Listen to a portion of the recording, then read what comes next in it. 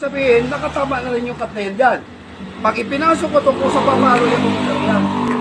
Ang kailangan yan, yung iba kasi sabi nila, nakauno daw itong rotor. Diyan naka, subukan natin kung kaya mong paandarin yan, kung diyan mo itapat yan.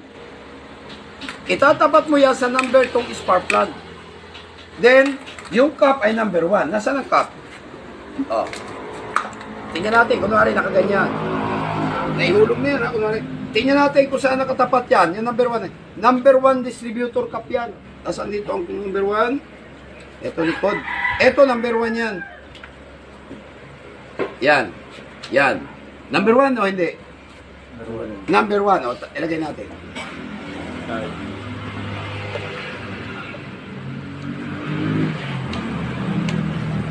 Yan, number 1, ibig sabihin ng number 1 na yan, pag nilagay mo yan dyan, clockwise, 1, then 3, 4, 2. 1, 3, 4, 2. Yan yung tama niyan. Tapos ito yung sa coil. Alam niyo yung coil?